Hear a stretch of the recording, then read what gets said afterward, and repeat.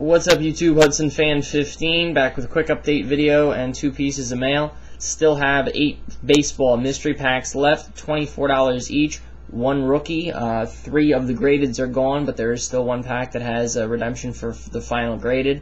Uh, two game used, uh, there is still at least one patch out there and several multi-memorabilia cards, and one autograph per pack.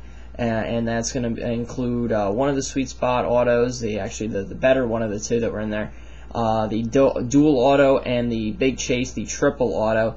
Also, I'm going to on Monday night go back on Blog TV, try to get those sold, and also do a raffle for this Jack and Jill went up one two three logo shield tube traders card. So let's uh, let's get that done. It'll probably be about the same time, about 6:30. Uh, two pieces of mail for the Colts PC 2009 UD Heroes card number 95, black printing plate 1 of 1, Reggie Wayne. So I have the card number 96 full plate set and start working on the next one.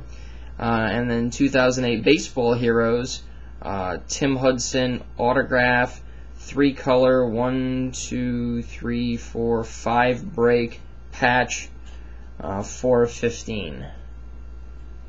Seller was excellent with the shipping, sent this in a magnetic like this. So that is an awesome PC add. Um, so we'll see you guys on Monday. I'll do an update video confirming the time, etc.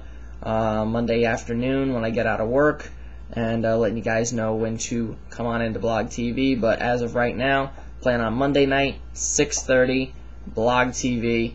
Um, hopefully we'll get it uh, get it all done and uh, maybe watch uh, Home Run Derby. I think that's Monday, right? Let me somebody let me know if that that is the the Home Run Derby night. Uh, maybe we'll do uh, do a little contest too with that. Maybe uh, if it is the Home Run Derby, we'll have some folks pick who's gonna win and maybe somebody wins a prize. We'll see. All right, YouTube. Peace.